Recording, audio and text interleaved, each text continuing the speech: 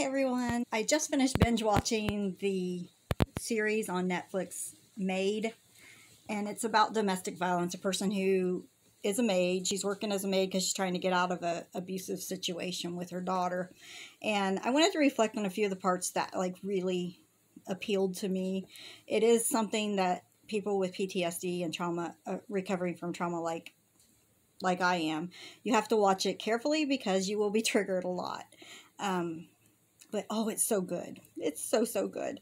The parts that really stood out to me were the parts where one, where she was trying to get assistance from government assistance when I became very ill. I had to go through that process. And prior to that, I was healthy and working as a nurse. So, you know, money wasn't that big of an issue. So I just, I heard people say, oh, you know, they just, they're just on, you know, living off the government, blah, blah, blah. And I thought that it was easy to get government assistance, but it's not. Um, people think that those of us who are on disability or whatever are living off the government. Trust me, you're not living high on the hog. And if you make any more money, then it takes things away. So it's just really a catch 22.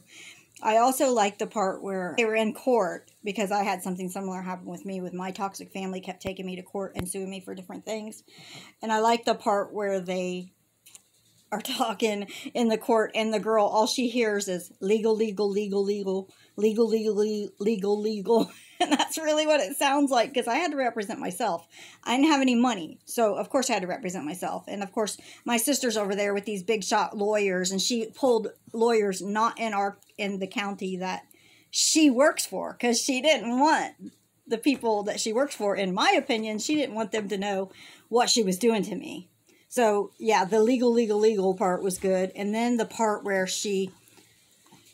Um, I don't want to ruin anything for anyone who hasn't watched it, but there's a part where she gets really depressed again, and she sinks into the couch, and that part just oh, I could so relate to that when she just slipped into the couch, and then the next recollection she has is like two weeks later, you know, and um, that's so relatable how that happens, and time just goes by so quickly. So it is such a good show.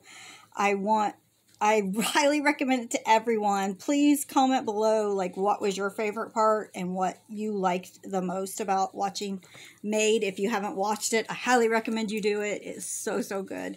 And I hope it helps society understand what it's really like um, in the world today trying to navigate really toxic situations.